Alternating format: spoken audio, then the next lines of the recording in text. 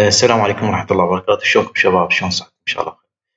آه، اليوم راح نسوي برنامج آه، بسيط مثل ما قلت لكم يمنع تصوير سطح المكتب.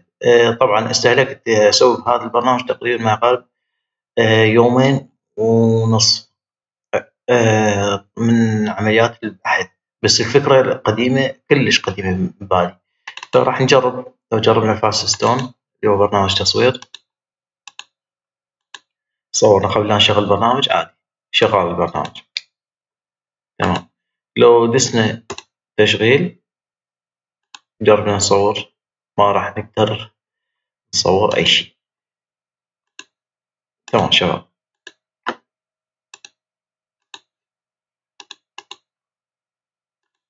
آه فكرة البرنامج شباب خليني أشرح لكم فكرة البرنامج.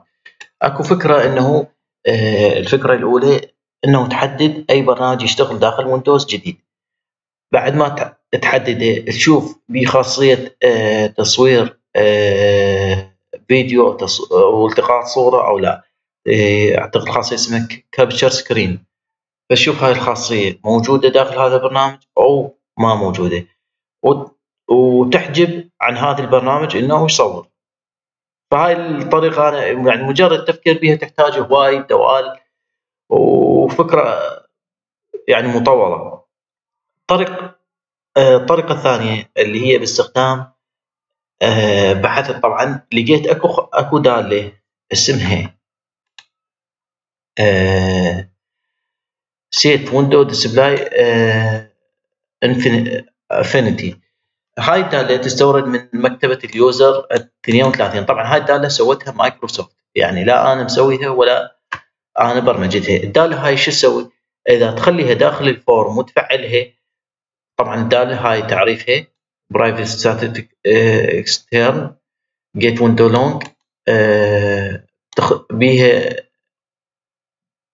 آه، العفو العفو العفو أنا آسف.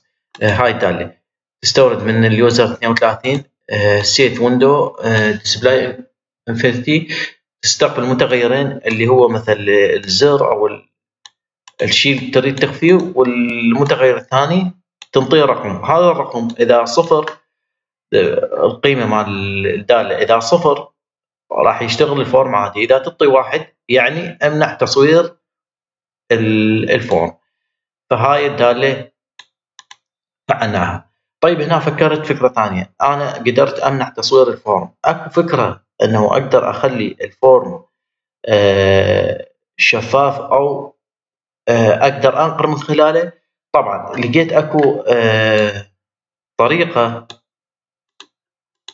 تخلي ال form تقدر تنقر من خلاله. طبعا هاي الطريقة لقيتها أيضا من بحثت عنها داخل جوجل فجبتها نفسها ولصقتها هنا. هي أيضا تستخدم داله Set Window Long و Get Window Long. طبعا هذين الدوال شباب تستوردوهن من ال User 32 من مكتبة ال User 32 يعني ما راح تطلع لكم داخل الدوال مثلا هسه بنكتب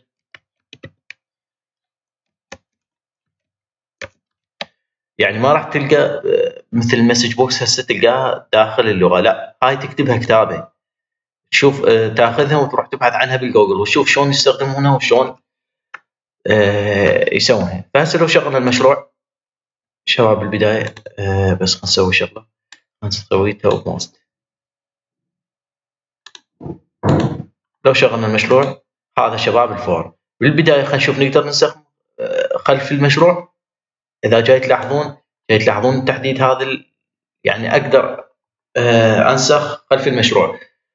هاي الدالة الأولى استخدمناها. والدالة الثانية اللي هي تمنع تصوير ال form لو شغلناها مثل ما تلاحظون منعنا تصوير ال form طيب آه أنا لحد اللي هنا ما أريد ال form بهالشكل هذا. أريد يكون شفاف.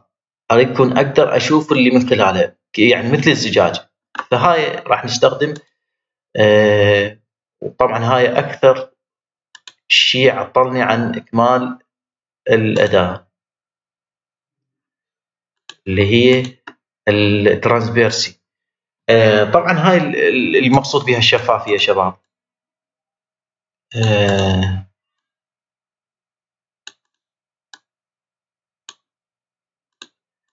الشفافية شباب هنا المفروض الشفافية آه، من الأساس إنه هي مشتغلة. يعني انت هسه لو اجيت ال form عادي وخليت هذا الكود راح يخلي لك ال form كأنه زجاجة وتقدر تنقر من خلاله. بس ما أعرف شنو السبب آه، بدون هذا السطر ما راح تتفعل الشفافية. قلت لكم بالعادة ال form إذا تخلي به هذا الكود راح يشتغل. بس هنا ما راح آه، يشتغل. ثواني شوف آه، فهنا راح نخلي يعني form dot allow transparency to true يعني نفعله نخلي الشفافية مفعلة. ونخلي الكود. راح نشغل ونشوف. لاحظوا شباب صار يشبه الزجاجه ال form تمام شباب؟ ولو نروح على التصوير. ما نقدر نصور. تمام شباب. آه راح نكمل. بعدين أنا أريد طبعا آه للشاشة كلها. فنخليه على قد الشاشة كلها. أعتذر بخصوص الإزعاج جاي يصير. المهم شباب نخلي الحدود على قد حدود الشاشة كاملة. آه طيب أكو شغلة هنا. هنا هذا ال form أنا ما أريده آه يعني بي إطار. أريده بدون إطار. فهنا لو خليناه بال عن طريق الكود نقول له border style يساوي none راح يصير لنا خلل فأنا استخدمت صراحة هاي الطريقة ونجحت وياي. إنه أفعل ألغي ال form border style من الخصائص مال ال form منها خليه نون. طيب يا شباب. لو شغلنا دسنا وجربنا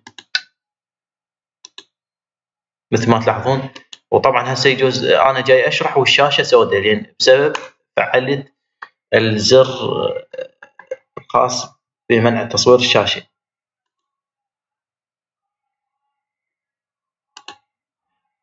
أما هاي اللي جاي يشوفونه هذا اللي هو هذا ال form الصغير. أما هذا ال form اللي جاي يشوفونه فهو مجرد يعني تنسيق. يظهر لنا ال form الثاني اللي هو الخاص بمنع تصوير الشاشة. يعني في مجرد يعني شيء تنسيق. أنت شلون تريد تخليه بعد؟ هذا شيء يخصك. وبكود بسيط اللي هو يمنع آه، يعني وقت تدوس وقت تدوس على زر ال on آه، راح يتحول إلى off ويفعل لنا هذا. ال form يمنع التصوير. وقت تدوس عليه مره ثانية راح يرجع طبيعي. أتمنى يكون يعني شرح مبسط. واستفاديتوا منه. لا تنسوا تخلون like وتشاركون المنشور شاركون الفيديو عفوا. في أمان الله.